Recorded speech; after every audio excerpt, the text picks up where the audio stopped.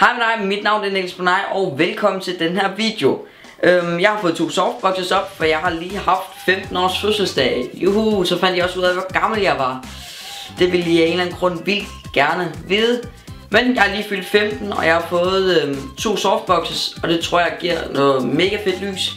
Det er i hvert fald fedt, at man også om aftenen kan stå og filme videoer, så man ikke er afhængig af at bruge et vindue. Men i dag, der skal vi lave en emoji challenge, som går ud på, at jeg prøver at ligne forskellige emojis, jeg har fundet. Til jer, der ikke lige ved, hvad en emoji er, så det er det de her små øh, ikoner og smiley og sådan noget, man, øh, man bruger, når man skriver sms og alt muligt. Så øh, jeg synes bare, vi skal komme i gang.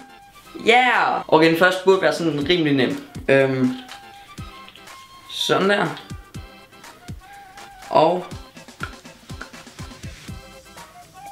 Og så... Okay. Jeg prøver at gøre det der, hvordan man bliver sådan hvid i øjnene sådan.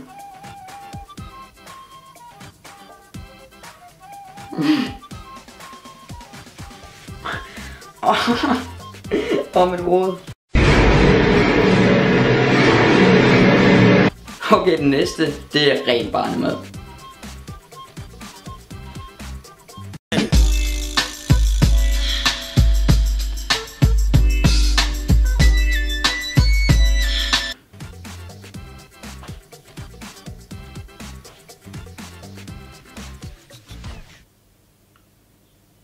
Det er sådan nogle mærkelige øh, øjne emojis, jeg har. De har sådan nogle buede øjne, så det var sådan...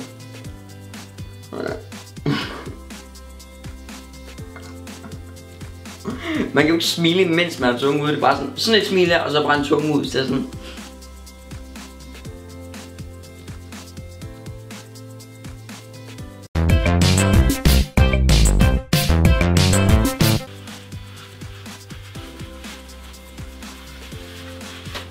Og så ser den bare sådan totalt trist ud. Bare sådan...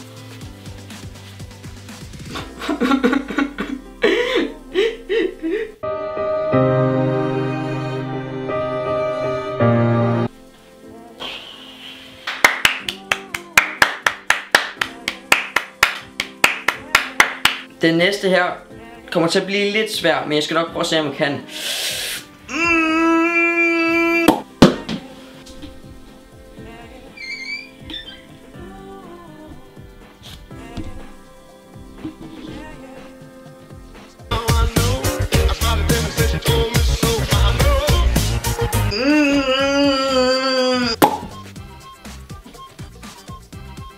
Det kan I nok ikke, være. Okay, den næste, der skal løfte en vægt.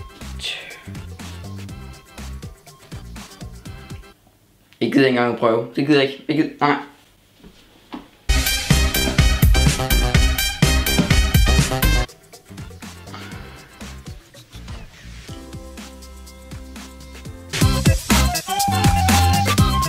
Uh, jeg er et farligt spøgelse. Uh.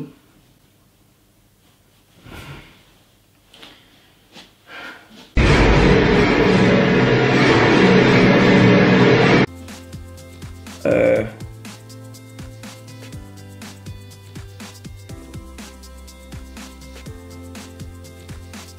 Og så nogle ører. Miau. Men det var alt for den her øh, lille video. Øh, håber den blev okay. Øhm, hvis du synes den var okay, kan du gå ned og like og subscribe, hvis du ikke gør det nu. Og ellers må du vel bare have en for de her dag.